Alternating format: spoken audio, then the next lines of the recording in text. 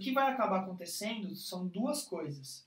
Uma, ou, ele, ou esse comportamento que vocês estão julgando inadequado, ele vai se aflorar, então ele piora, tá?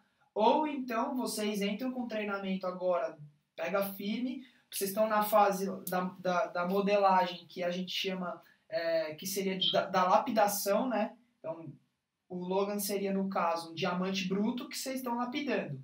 Então, agora é o momento da lapidação, então vocês vão lapidar aí o, o comportamento dele para essa situação, lapidado esse comportamento, você não tem problema.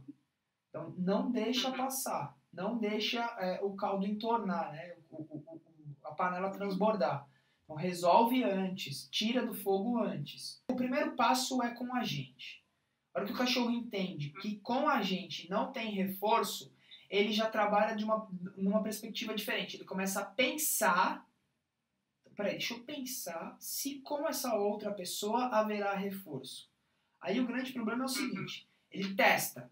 Então vamos supor, se é uma pessoa que já foi na sua casa, que ele já recebeu um reforço, ele tem na memória aquilo. Ela já me pagou por isso, eu vou continuar fazendo. Tá? Agora, se é uma pessoa que não foi na sua casa ainda, ele vai testar, ele vai Sabe quando o cachorro vai pular, mas não pula, ele vai fazer assim. Se a pessoa intuitivamente recompensar, aí ele vai falar: pronto, essa daqui também paga. E aí ele vai pular.